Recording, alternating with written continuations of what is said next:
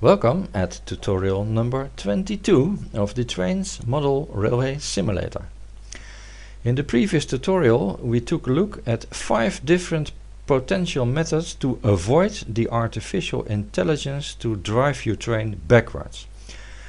I tried to include all of those methods in our uh, layout, our project and well it seemed to work, no train was driving backwards anymore so if you edited your track uh, accordingly, then also you should have should have now a project 7 that we are today going to edit to add the signals.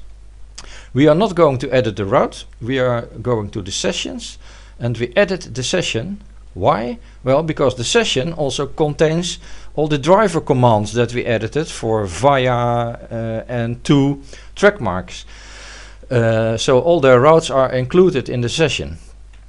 Okay, let's have a look what we need to do. We need to add signals. Every turnout and maybe every, let's say, large open space, uh, a long space where at least a whole train can can can stand still, gets uh, from me an extra signal to have some block working, uh, and then you can have two trains drive behind each other without collisions.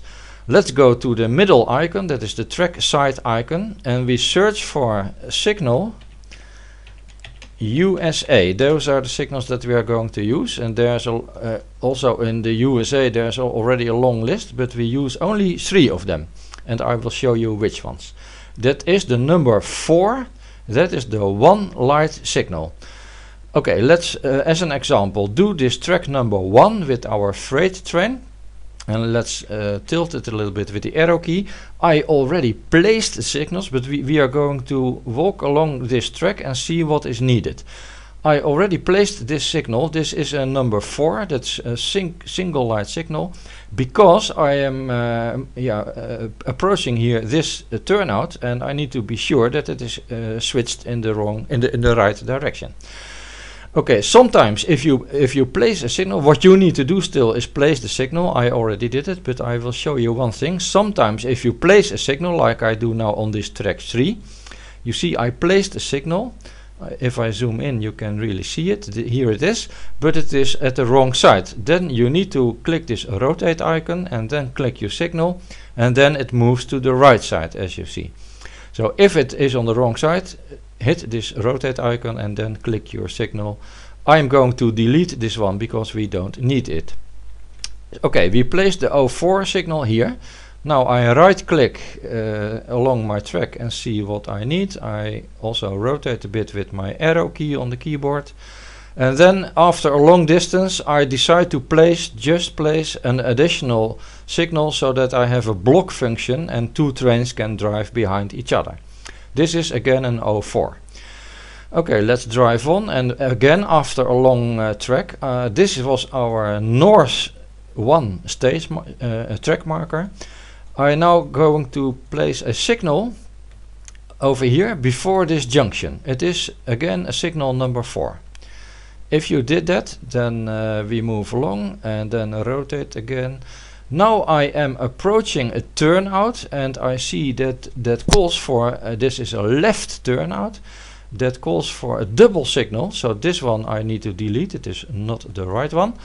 It is a double signal which is the O2 and there are two types, the right turnout and the left turnout. Which one to use depends on what you want to call the main track.